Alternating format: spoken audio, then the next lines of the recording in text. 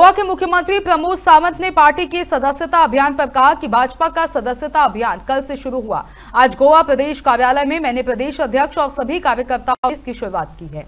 सभी लोग इसको लेकर बहुत उत्साहित हैं। मुझे उम्मीद है कि गोवा के 50 प्रतिशत मतदाता भाजपा के प्राथमिक सदस्य के रूप में जुड़ेंगे और हम अपना लक्ष्य पूरा करेंगे। कार्यकर्ताओं के प्रयास से हम अपना लक्ष्य ज़रूर पूरा करेंगे। अभियान कल दिल्ली में माननीय मोदी जी के नेतृत्व में स्टार्ट हुआ।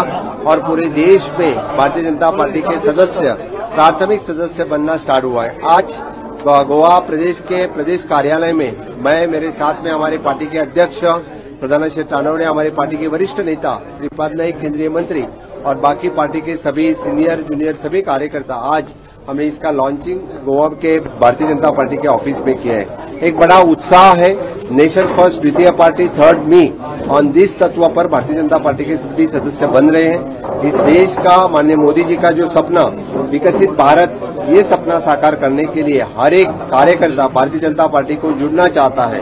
मुझे पूरी उम्मीद है, हमने लक्ष्य रखा है कि 50 percent of the voters of the Goa state will be join for the Bharatiya Janata Party as the primary membership and will complete our target हमारे पार्टी के अध्यक्ष और बाकी सभी कार्यकर्ता के प्रयत्न से पूरे हमारा लक्ष्य पूरा करेंगे। तो मुझे उम्मीद है कि भारतीय जनता पार्टी का हर एक कार्यकर्ता, हर एक घर जाके प्राथमिक सदस्य बनाने के लिए सबको सहकार्य करेगा।